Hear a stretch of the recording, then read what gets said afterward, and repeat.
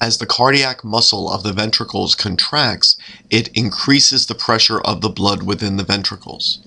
Eventually, this pressure is so great that it exceeds the pressure in the pulmonary trunk and in the aorta.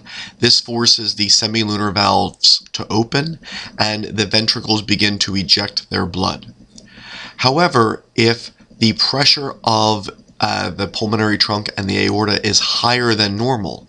It will take another split second before the ventricles can increase the pressure of the blood within the ventricles uh, to a point great enough that uh, the semilunar valves can open.